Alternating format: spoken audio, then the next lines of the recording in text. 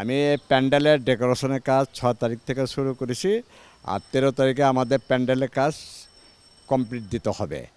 আমি বিশ বছর যাবৎ এই মন্দিরে কাজ করিতেছি।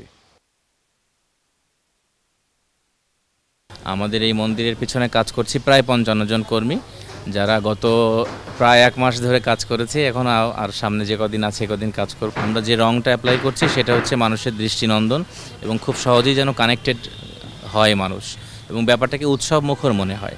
তো এবারের যে মণ্ডপ, সেই মণ্ডপের ধারণাটা আমরা নিয়েছি দিল্লির লক্ষ্মীনারায়ণ মন্দির থেকে এবং সেই মন্দিরের যে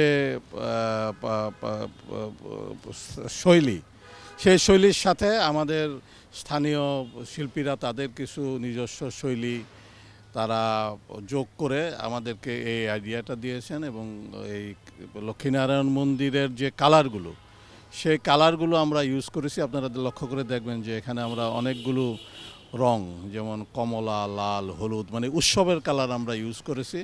যে আমাদের এই উৎসবটা যে অত্যন্ত বর্ণিল এবং এটা যে আনন্দঘন একটা উৎসব, সেটাকে ফুলিয়ে ফুটিয়ে তুলতেই আমরা এই ধরনের ব্রাইট কালারগুলো আমরা ইউজ করছি। মা দুর্গার তো একটা সংহারী রূপ আছে, আপনারা জানেন যে সেটা হলো যে অসুর দমনে। তিনি অসুর দমনে তার একটা সংহারী রূপ, তার হাতে দেবতাদের দেওয়া বিভিন্ন অস্ত্র, তার বাহন সিংহ যেমন থাকবে, তেমনি আবার মা কাছে আমরা তো পৃথিবীর সবাই হলো সন্তান তুল্য। সেই অসুর হোক, সুর হোক, এবং এই সংহারে করতে গিয়েও তার মধ্যে যে মাতৃভাব সেটাকে আমরা সংহারী এবং মাতৃভাবের একটা সংমিশ্রণ আমরা আমাদের মূর্তির মাধ্যমে ঘটিয়েছি এবং সেখানে মা দুর্গার পাশাপাশি তার যে সন্তান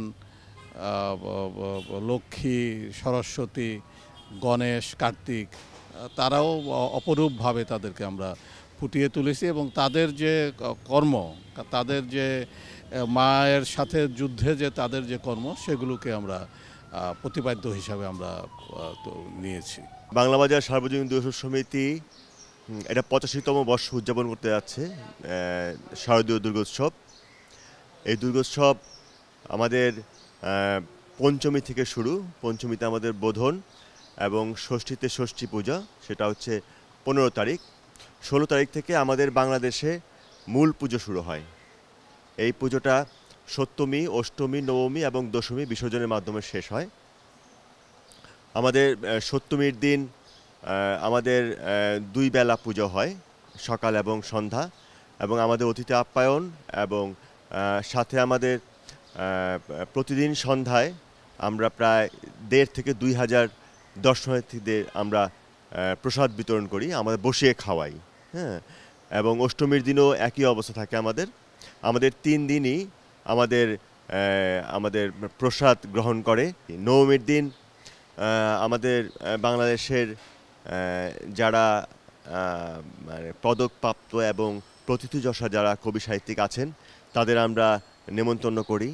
আমাদের উমা হৈমবতী নামে একটি পূজা সংখ্যা। আমরা এটা স্মরণিকা বলব না, আমরা পূজা সংখ্যা বলব।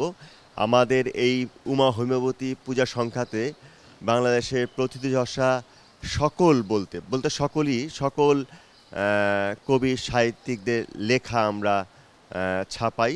মা দুর্গার আবির্ভাব যে কারণে হয়েছে, আমাদেরও এটাই লক্ষ্য যে আমাদের এই পৃথিবী থেকে, আমাদের এই দেশ থেকে যাতে সন্ত্রাস, জঙ্গিবাদ ঘুচে যায়।